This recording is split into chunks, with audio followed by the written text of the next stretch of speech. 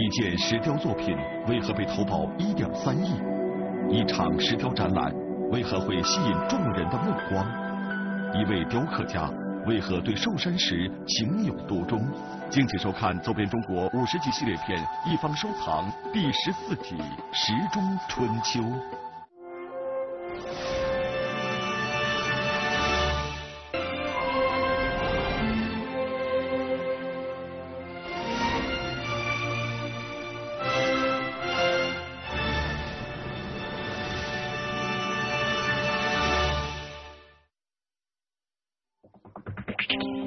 二零一二年三月一日，一场特殊的展览在中国国家博物馆拉开序幕。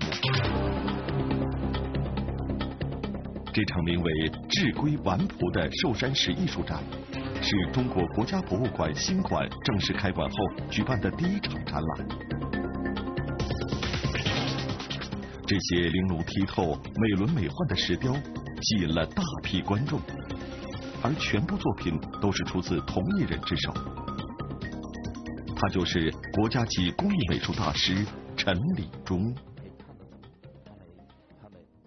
中国国家博物馆正式开馆之后的第二天，呃，我们举办了陈礼忠的呃寿山石雕艺术展，呃，为我们这个正式开馆呃增添了一个特别的内容。据说展品所用的许多石材都是陈礼忠自己寻找的。为了创作，他还收藏了许多寿山石。那么，陈立忠与寿山石的缘分又是从何开始的呢？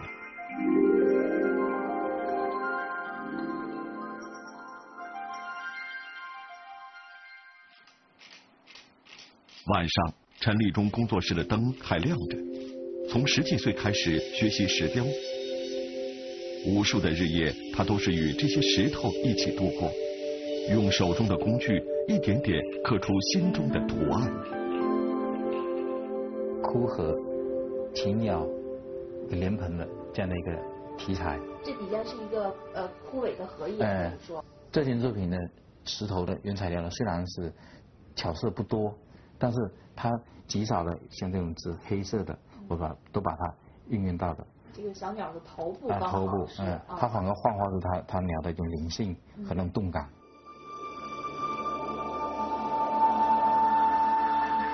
这些是陈立忠用寿山石创作的荷叶与禽鸟。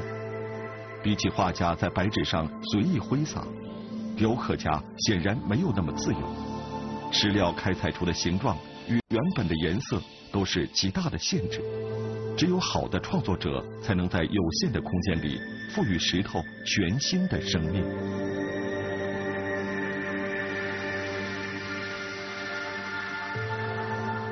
为了雕刻，陈立忠这些年一直在收藏寿山石材。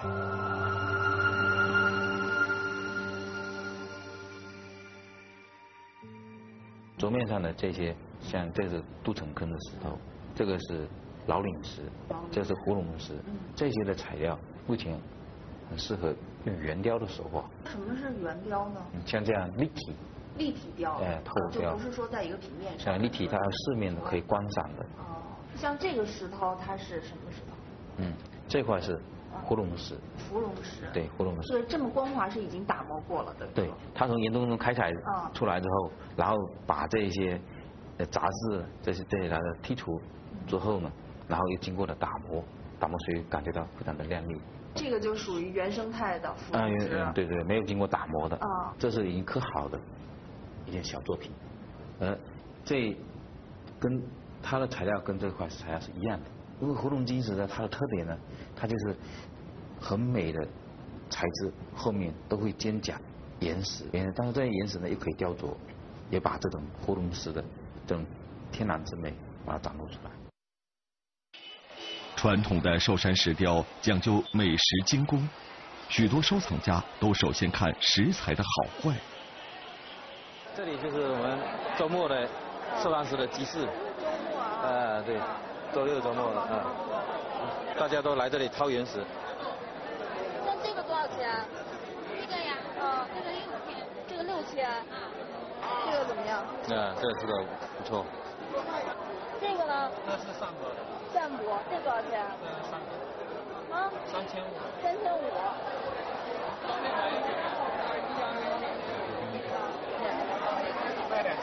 知道。你知不知道是什么石头？嗯。知道，我知道。陈立忠告诉我们，寿山石有上百种，每个小品种里面都有品质高下之分。市场上熙熙攘攘，人头涌动，但更多的是印章和把玩件。作为雕刻家，陈立忠显然需要一些体积更大的石料，这恐怕就需要去寿山石的原产地看一看了。离福州市区大概三十公里，有一个叫做寿山的小村子。寿山石自开采以来啊，已经有我们发现了有一百多个品种，这边是通往这个都城坑，这边通往高山，而这边我们的对面呢就是上博洞石，后面呢就是生产这种奇匠石种的地方，而我们的底下呢这条就是著名的田黄溪，溪的两边和溪底下就产了寿山石里面的石中之王田黄。在寿山村，很多原石都在石农的手里。寿山石一条街，旁边都是卖寿山石的。对对对，这个村落就叫寿山村。寿山的寿山石呢，就从后面的那个高山上开采出来的那个山峰。这个地方就是寿山石的原产地。嗯，寿山石就是以这个村落的名字来命名的。如果说您要是找一些的石料，也会来这来买吗？对，老的房子啊都在后后面。我们在十十多年前呢，就是我们买买石头的时候，都是到他们的这些家里。来买，去石农的家，石农的家里来买。那现在呢？现在因为石农可能都开店了。对，开店了。那今天您打算就是说去石农的这个店铺里去看看？呃，店铺里看，然后也有到他们家里去看。嗯。嗯，我们往这边走吧。哎，大师 你好。你好。柜子里这些都是主要是以什么为主？高山。高山。山山根石。那什么样的石头是您想要挑的？可能像这这一类的对比。强烈，嗯，黑白的，黑白对比对比很强烈，角色比较分明。可惜的就是，他在开采过程中啊，用了炸药，这个把里面的针针裂，有有有内伤啊，有裂痕的。这一块可能更适合雕刻，红黄，白色，还有一点黑色，处理圆雕雕刻，啊这个很适合。这块要卖多少钱？呃，四万三了。四万三。这块石头要四万三。把它买下来，就对于创作的方向。那还有大块的石头吗？有啊。啊，在在在在在在楼下的啊，去去看看嘛。可以可以可以。这个好。这个什么价位啊？这个大概三百多，这个这一花。白色白色不够多。白色很很多啊，这里这里这个都是白。现在就是，嗯，说上是这种原材料太贵。这没这这这么这这一片都要几万块。小小石头身价不凡，它的开采最早源于何时？又是什么原因让它如此昂贵？陈立忠有着哪些特殊的收藏？请继续收看《走遍中国石中春秋》。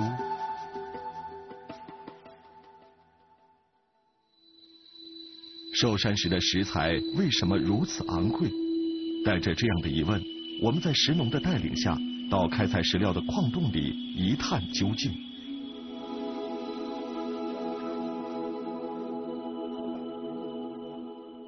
山上叫杜林山，杜林山上有三个线脉。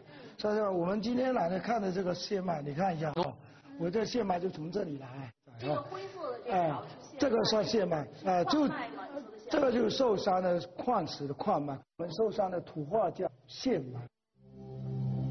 由于寿山石属于一种稀缺的天然矿产，资源有限，而历代的开采让现在的原石越来越少，石头的价格也就节节飙升。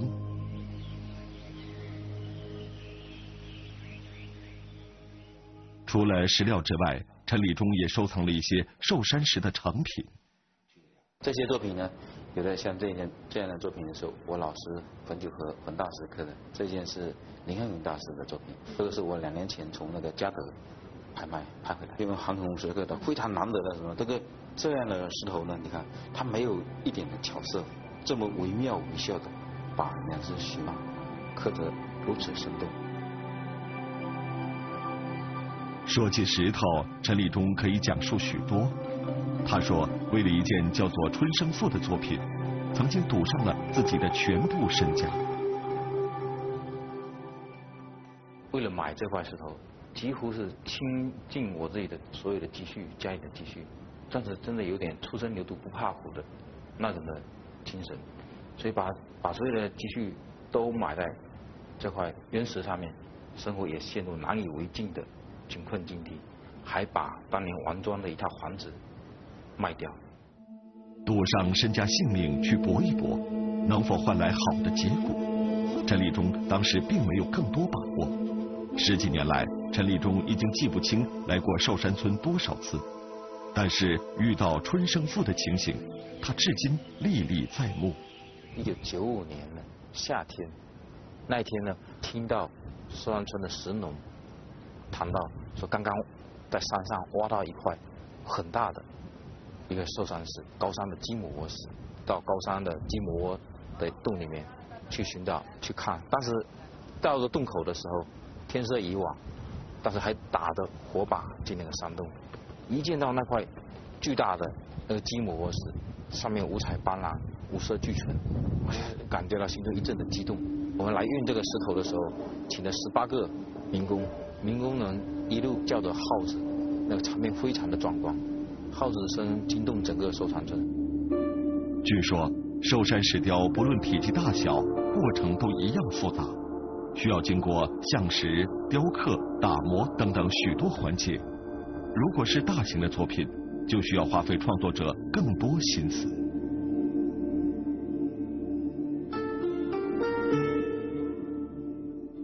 我们前辈呢有个口诀，叫做“鲜花插头前”。巧色方面上，就是说把最好的颜色放到最正面的地方，然后也也有画的时候要根据它，比如它石头里面有些裂痕啊，这样把它要怎么样处理？裂痕是要避开，还是有的时候还会利用一些？从裂痕里面刻进去，裂痕就把它画掉了。就是按照你画的这个图案，先把这个大型先弄出来哈。嗯。那一般像这个过程大概要花多长时间？像这种小块的小件的。小件的，像这样的过程差不多。要花两天时间吧。能让我试一下吗？好。啊像这个刀的话，一般是比如说是这样，要刻这个这个形的话是这样弄吗？嗯，是。我觉得挺硬的感觉。这样没分的不行，要分这个拇指是这样分分在这里。这样才能刻得动，而且感觉。像我就是可能如果要是方向掌握不对的话，可能根本就没没有什么效果。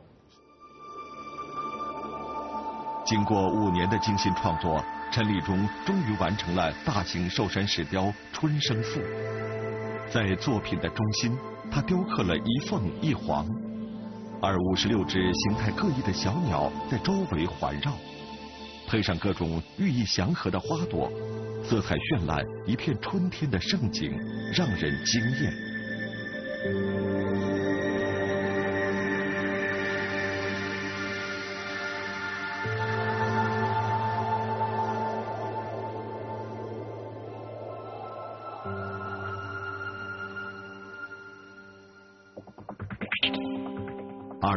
年六月，在上海世界博览会上，陈立忠创作的作品备受瞩目，《春生赋》被当作福建馆的镇馆之宝。在展出期间，组织方特意为其投保一点三亿元人民币，是迄今为止中国石雕作品中承保金额最高的一件作品。在陈立忠的工作室。可以看到许多寿山石雕，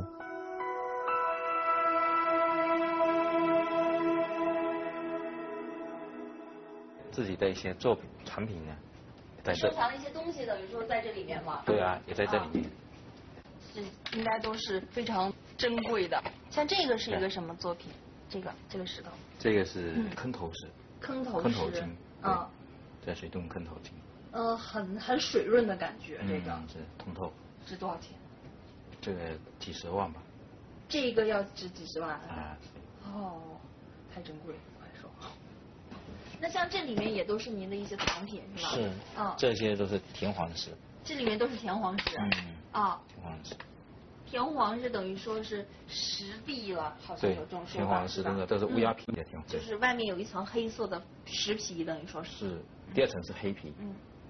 然后第三层是很薄薄的白皮。嗯。白色的，这是三层皮，里面是最里面是黄色的。一两田黄三两金，那田黄的那稀有程度，比金啊、玉器啊，啊，甚至比钻石还稀少。嗯。一克都要在两三万左右。一克还是一颗？一克。一克，啊，那像这一件大概有多少克啊？这有三十多克。三十多克，那至少值几十万了。是。《观石录》记载，宋时固有坑，由于寿山石温润光泽，易于奏刀的特性，很早就被用于做雕刻的材料。在福建省博物院的展厅里，可以看到很多古代的雕刻品。陈立忠经常来这里。看看古人的雕刻技法与造型特点。嗯，从现有出土的实物来说，最久的就是这两对珠。啊，就是最边上那两个小的。呃，就是在前面那个两对，一对一对的两对小石珠，有南朝的坟墓当中出土的。是南朝的。南朝。它是一个什么材质呢？它这个材质呢？在寿山石来说呢，是属于现在我们称它叫做老岭石。为什么一千多年以前，一直到宋朝的一千年，这个都是大部分用这个老李石呢？是因为老李石的这个矿层啊，它跟高山石啊、跟田黄啊它不一样，它来源呢就比较，它是是一种整个露天露天可以盖材的。这种石头为何备受收藏家的瞩目？雕刻家如何潜心创作，让寿山石在中国国家博物馆大放异彩？寿山石到底魅力何在？请继续收看《走遍中国石中春秋》。人们越来越热衷于收藏通常意义上的美食，喜欢温润甚至晶莹的食材。早被开采的老岭石，因为外表粗糙。却被渐渐冷落。这些就是老岭石。这些都是老岭石。啊，这些都是老岭石。啊，它这等于说体积就比较大。啊，体积比较大。但这些石头，您就可以雕刻。对，有的可以雕刻。也是要挑选，虽然都是老岭石，还是要挑选。这么大的体积的，要把它切成小块的。要切成小块的。对，切成小块的，这就是老岭石。这个老岭石，比如说像这种石头，怎么能看出它好？它这种石头，你看它这个，这个就是红色的。这个它这里面也有红色的，嗯，对对放点水上去，颜色能看清楚点啊。可以看得清。啊，它这等于说也有分层。嗯，也有分层，这红、灰、黑，它颜色也是挺丰富的。那像质地有好坏之分吗？老有老岭石也有分质地好坏。也有细腻的。也有细腻的。这这个地方可能就这沙石比较多。沙石比较多，就属于比较差的了。对。就不够细腻，等于说。它是比较啊杂质多，就是它岩石比较多，刻的时候它里面有岩石成分，嗯。哦。那像您的话，可能就不会选择这种材质。这它要把它切掉，切成小块。那像老岭石是不是属于寿山石里面相对来说数量多一些的这种石材呢？呃，老岭石在寿山石里面算产量比较大的，它是因为它露天开采的。露天开采的。嗯。哦。老岭石外表灰暗，毫不惹人注目。在寿山村，他们往往就随意放在路边。然而，这种石头却是陈立忠眼中的至宝。似乎他用独到的眼光，再次发现了老岭石的美，并将它们作为自己最独特的收藏。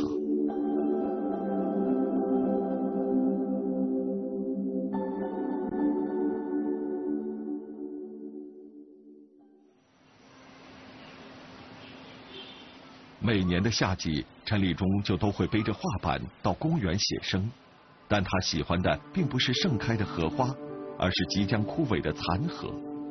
在他眼中，看似枯萎的荷叶有着更为强烈的生命张力。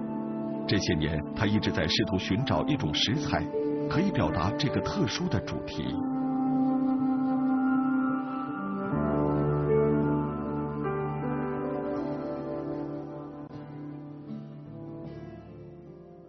和自然界的像枯荷那样，它的枯黄的颜色和老岭石那样暗淡的枯黄的颜色，它们就是一种很一致。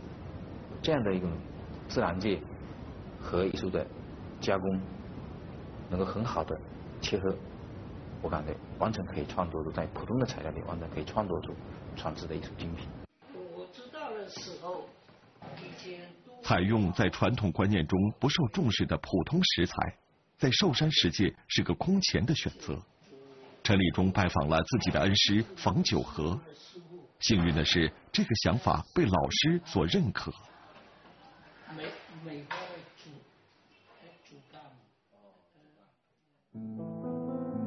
二零零五年，陈立忠开始走出国门，在其他国家的艺术殿堂中，他受到了很强烈的震撼，更坚定了自己的理念。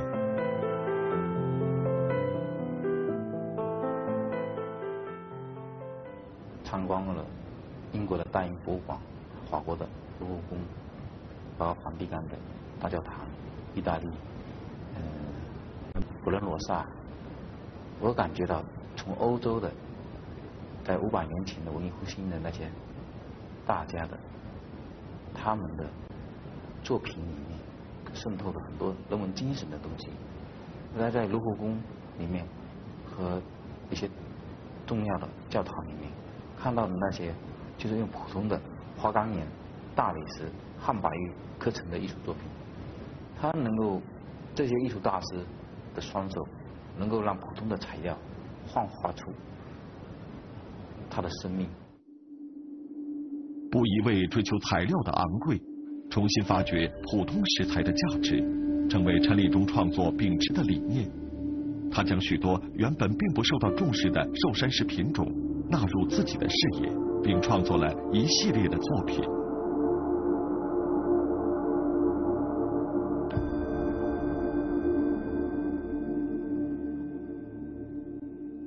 在芙蓉石里面，它属于普通的材料，但是在构思的时候，就想把利用一种空间，可一一一棵枯木，然后一只这个秃鹫站立于枯木之上，然后在这最精彩的部分，就是这这么一点点的巧色部分，把运用在它的头部，就使这个鹰它更加英武飒爽英姿的。二零一二年，与这只鹰一起。陈立忠创作的一百多件寿山石作品，在中国国家博物馆展出，受到观众的空前认可。而他的十件作品也被中国国家博物馆所收藏。陈立中透过食材，传递着自己对于生命独特的感悟。而这种艺术追求，对寿山石而言，则开创了一个新的格局。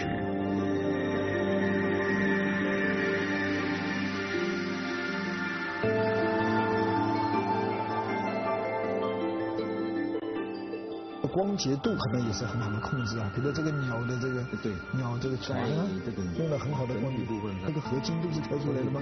都是刻出来的啊，这条合金也是不得了啊。在我们的啊，这样的材料基本是废弃的，废弃的，嗯，不不用了。嗯，这个你雕凿不得了啊。陈理宗在寿山石雕的重要突破，就是他突破了传统关于寿山石雕材质的局限性。不完全用名贵的那些经典型的食材，而用了其他一些同样适合表现和塑造形象的食材，也就是天下食材啊，皆可为我所用。就在展览结束不久，陈立忠又开始了新的采风，或者他的寿山石创作即将会进入一个新的境界。